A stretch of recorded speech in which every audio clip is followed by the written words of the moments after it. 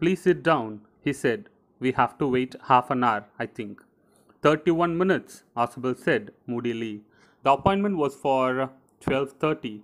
I wish I knew how you learned about the report, Max. The little spy smiled evilly. And and we wish we knew how your people got the report. But no harm has been done. I will get it back tonight. What is that? Who is at the door? Fowler jumped at the sudden knocking at the door. Ausable just smiled. That will be the police, he said. I thought that such an important paper as the one we are waiting for should have a little extra protection. I told them to check on me to make sure everything was all right. Max bit his lip nervously. The knocking was repeated. What will you do? What will you do, Max? Now, Ausable asked. If I do not answer the door, they will enter anyway. The door is un- unlocked and they will not hesitate to shoot. Max's face was black with anger as he backed swiftly towards the window. He swung a leg over the sill. Send them away, he warned. I will wait on the balcony. Send them away, or I'll shoot and take my chances. The knocking at the door became louder, and a voice was raised. Max asked Fowler to sit down as there was still half an hour for the report to reach Ausable. Ausable joked that it was not 30 minutes but 31 minutes that were left for the report to reach them. The report was supposed to come around 12:30 at night. Ausable said that he wished he had known how Max had come to know about the report coming in. Max smiled wickedly and said that he also wished to know how Ausable and his team had got the report. He added that nothing had happened to the report because he would take it from Ausable straight to his team. Then suddenly a knock is heard on the door and Max panics. Fowler is also scared by the knock on the door. Ausable replied to Max's question about who was on the door that it must be the police because he had asked them to check on him after some time as he thought that the report he was about to receive was important and definitely required extra attention. He had asked the police to check on him after every some time to ensure that everything was all right. Max became nervous about the situation as the knocking continued and Ausable asked him what he would do next. Ausable added that the door was unlocked. If he did not let him open the door, the police would enter anyway and definitely shoot if they saw him with a gun. Max was angered by the situation and ran quickly. The knocking on the door grew louder, and someone from outside called for Mr. Ausable twice, keeping his body twisted so that his gun still covered the fat man and his guest.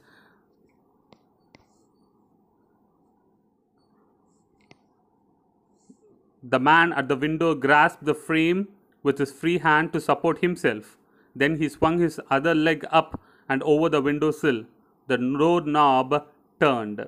Swiftly, Max pushed with his left hand to free himself from the sill and dropped to the balcony. And then, as he dropped, he screamed once. Shrilly, the door opened and a waiter stood there with a tray, a bottle, and two glasses.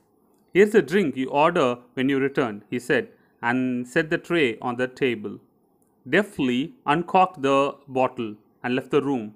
White faced Fowler stared after him, but uh, he stammered, The police. There were no police. Ausable sighed. Only Henry, whom I was expecting. But won't that man out on the balcony? Fowler began. No, said Ausable. He won't return. You see, my uh, young friend, there is no balcony. Max was sitting on the window sill and was facing inside so that his gun could still be pointed towards Mr. Ausable and uh, Fowler. Max then held the window sill and sat at the sill with both legs outside. The doorknob turned, and Max thought that the police would be coming in, so he jumped from the sill to fall on the balcony. And when he fell, a loud and shrill scream was heard. When the door opened, a waiter stood at the door with a tray, a bottle of wine, and two glasses. He came in and kept everything on the table and said that it was a bottle that Ausable had ordered for. He opened the cork of the bottle skillfully and left. Fowler did not understand what had happened and stammered that where was the police, to which Ausable replied that there was no police and that he knew that it was Henry, the waiter, and he was expecting him only. Then again, Ausable asked about the man outside the window. It is not Ausable, it is Fowler. Then again, Fowler asked about the man outside the window, to which Ausable replied that he would never come back as there was no balcony and that Max had fallen on the ground from the top floor of the building, which means there was no balcony. Ausable lied to Max. He used his presence of mind. There was no balcony, but uh, Max thought that there was a balcony and he jumped and fell down. Okay, with this, the story ends. Summary of the story The Midnight Visitor. Lesson The Midnight Visitor. Author Robert J. Arthur. Cracks. Appearance can be deceptive. The theme. Introduction The Midnight Visitor is a short story written by Robert Arthur.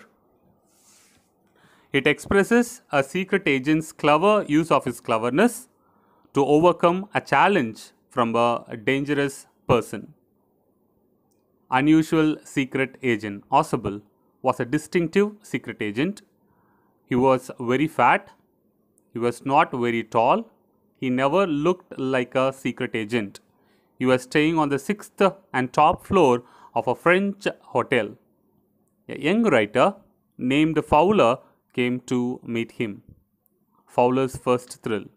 When Ausable and Fowler entered the room, they found a man with a pistol. The man was called Max. Fowler was thrilled by Max. He kept quiet and remained passive. A cock and bull story.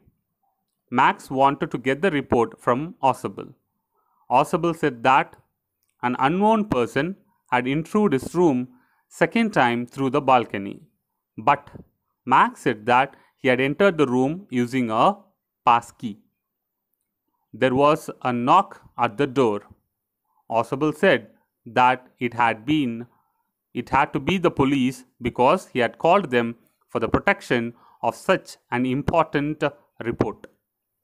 Disclosing a fact, on hearing the arrival of police, Max jumped through the window to the non existing balcony.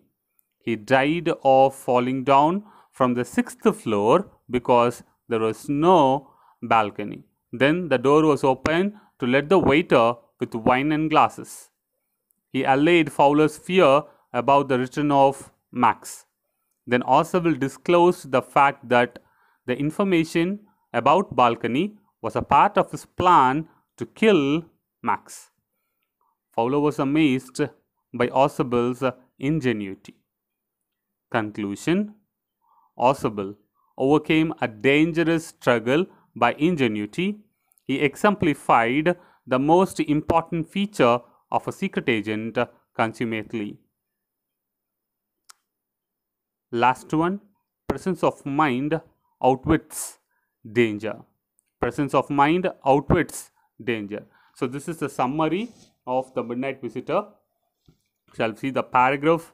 How did Ausable outwit Max? So, this may be asked. Uh, how did Ausable outwit Max? So, let, uh, lesson The Midnight Visitor author Robert J. Arthur. Correct, appearances can be deceptive. Ausable was very fat. He was secret agent with unusual features. Fowler was an young writer. When Ausable and Fowler entered their room, they found a spy called Max there. Ausable used his presence of mind perfectly. When he found Max with a pistol, he informed both Max and Fowler that somebody had entered the room through balcony the second time in a month. When Max told Ausable that he entered the room through a passkey, Ausable made Max believe that there was a balcony under the window. Moreover, on hearing the knocking sound at the door, Ausable frightened Max with the message that the police were knocking the door. Ausable knows that it was a waiter whom he expected. So, Max became nervous, swung his leg, and tried to escape through the non existent balcony and dropped down. Ausable knew Max will not return as there is no balcony. Finally, Ausable's diligence in spying outwitted Max by describing the non existing balcony. This shows that appearances can be deceptive. With this, the story ends, and this is a paragraph, and you have to study this paragraph. We'll continue in the next class, and that's all for now. Thank you.